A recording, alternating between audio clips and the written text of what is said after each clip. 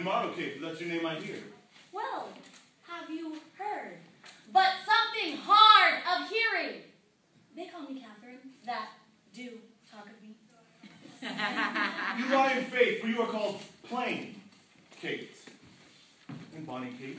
And sometimes Kate the Quest. But the prettiest Kate in Christendom, Kate of Kate Hall, and my super dainty Kate, for the dainties of all Kates. And hear me, Kate of my consolation, I am wooed to move thee as my wife. Moved in good time. Let him who removed you hither remove you hence. Oh! I knew you were first. You were movable.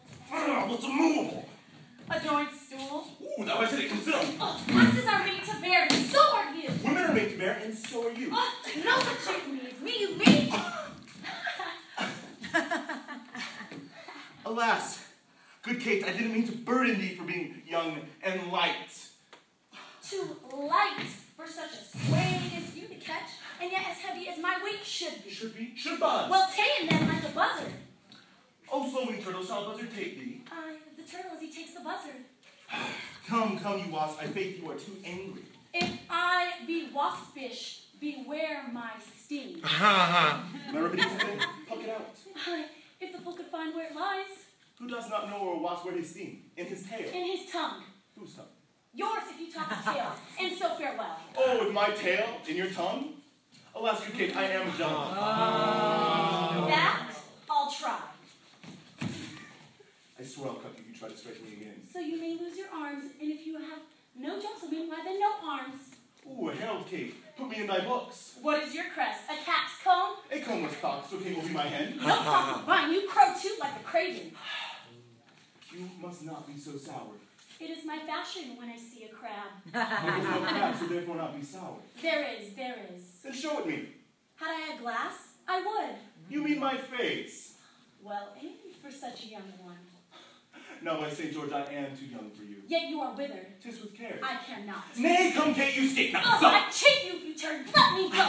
Ah, not a wish I find passing gentle, for I was told you rough, coy, and sullen. But I find that report a very liar. I find you gentle, passing, courteous, and pleasant. Thou must not frown, thou canst not look askance, and nor bite the lip of angry wenches will.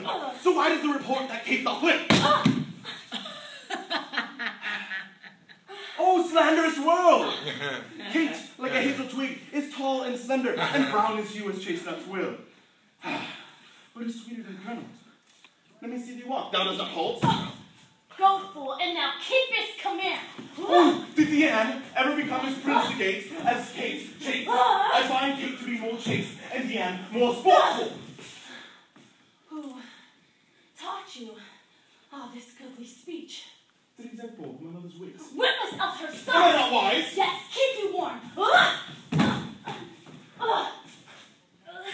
Marry Ah! So, sweet Catherine, in thy bed.